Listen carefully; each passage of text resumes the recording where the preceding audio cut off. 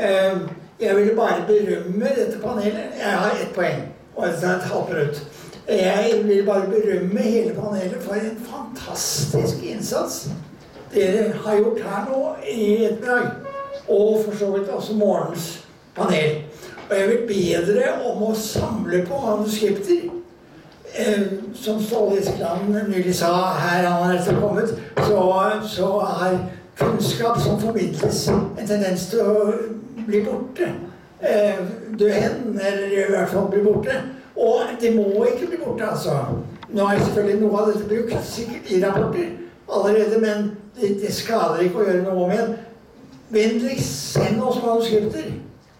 Og Ole Kristian, du du er nå redaktør av en bok eller en publikasjon om dette. Vi utgir jo dette digitalt nå, og det er en stor fordel ved det, i hvert fall. Så dette var veldig bra, og gratulerer, altså.